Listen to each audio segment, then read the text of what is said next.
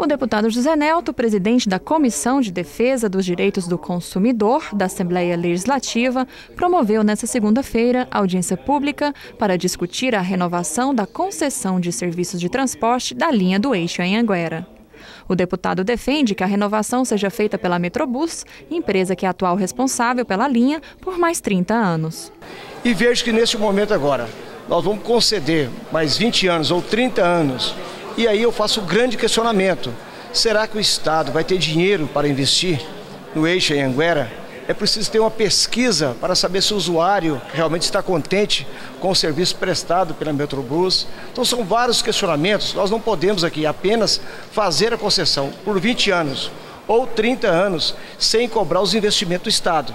A CMTC, Companhia Metropolitana de Transportes Coletivos, afirma que para a renovação da concessão, a Metrobus teria que investir 160 milhões em melhorias na linha do eixo Anguera. O que nós estamos procurando é isso: frota nova, novos terminais, novo piso para o eixo Anguera. Eu quero que alguém assine algum documento e me diga de onde vai vir esse recurso, de onde vai ser colocado os novos ônibus, o novo corredor, os novos terminais. Isso que a CMTC tem por obrigação ao conceder 20 anos, quem assina o contrato sou eu. E na hora de fazer isso, junto com a Câmara Deliberativa, junto com todos os companheiros, eu preciso de saber de onde é que vai vir esse dinheiro.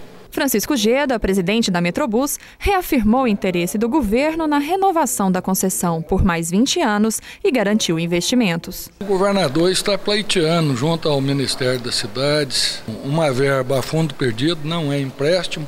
A única que o governo vai ter que realmente financiar é a aquisição de novos ônibus o secretário nacional de Transporte e Mobilidade Urbana, Luiz Carlos Bueno de Lima, afirmou que o governo federal irá liberar verba para a requalificação do eixo em Anguera, mas que esse recurso só será liberado após a Copa de 2014, pois o governo tem como prioridade o PAC da Copa do Mundo, que irá beneficiar 12 cidades do país. Existem propostas de investimento que foram apresentadas pelo governo do estado por intermédio da Metrobus.